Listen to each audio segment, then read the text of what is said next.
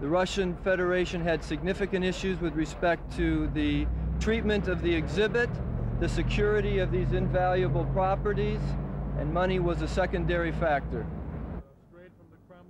I think that the conclusion of what was done Speak right here. uh, includes uh, both interests, Russian side and American side, and I hope that this exhibition will have great success in Houston.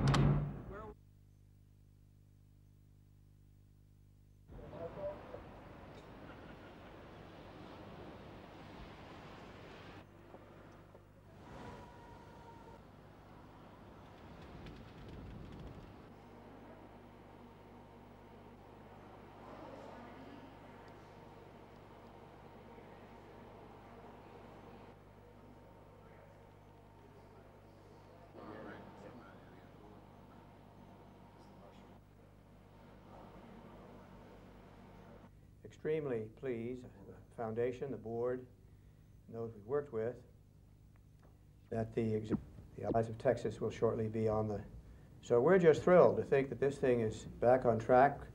Roll wagons roll, on the way to Houston. The Eyes of Texas will shortly be on the, the treasures of the imperial state of Russia.